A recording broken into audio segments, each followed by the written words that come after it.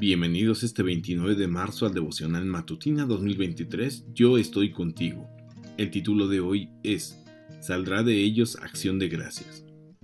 Saldrá de ellos acción de gracias y voz de nación que está en regocijo. Jeremías 30:19.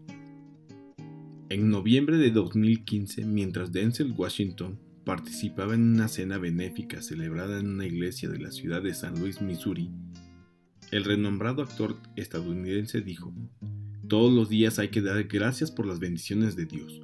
Todos los días. Abraza la gratitud. Anima a otros. Es imposible ser agradecido y desgraciado al mismo tiempo. Oro para que pongas tus pantuflas debajo de la cama cada noche, para que al levantarte por la mañana tengas que arrodillarte para encontrarlas. Y mientras estás ahí, di gracias. Un proverbio judío dice, ser agradecido es como ofrecer la mejor harina a Dios.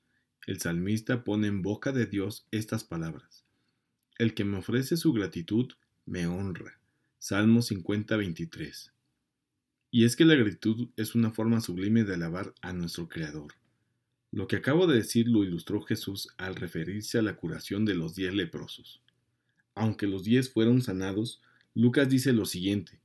Uno de ellos, al verse limpio, regresó alabando a Dios a grandes voces y se arrodilló delante de Jesús, inclinándose hasta el suelo para darle las gracias.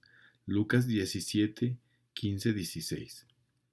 En ese texto, alabar a Dios a grandes voces y darle las gracias son expresiones paralelas. Luego el mismo Jesús dirá, ¿acaso no eran diez los que quedaron limpios de su enfermedad? ¿Dónde están los otros nueve? ¿Únicamente este extranjero ha vuelto para alabar a Dios? Alabar a Dios conlleva acudir ante su presencia y agradecerle por lo que ha hecho por nosotros. Quizás supongamos que debería ocurrir un milagro maravilloso antes de que nuestros labios fluya una frase de gratitud a Dios. No obstante, cada paso de nuestra vida es un milagro en sí mismo. Elena G. de White dijo, cada respiración, cada latido del corazón es una evidencia del cuidado de aquel en quien vivimos, nos movemos y somos. Desde el insecto más pequeño hasta el ser humano, toda criatura viviente depende diariamente de su providencia.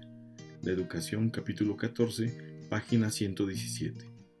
Hagamos de cada momento de nuestra existencia un motivo de gratitud a nuestro Creador. Esto nos hará más felices a nosotros y también nos hará muy feliz a nuestro Dios. Hoy podemos vivir la promesa. Saldrá de ellos acción de gracias. Jeremías 30:19. Que Dios tenga misericordia y derrame bendiciones grandemente en su hogar y familia. Así sea.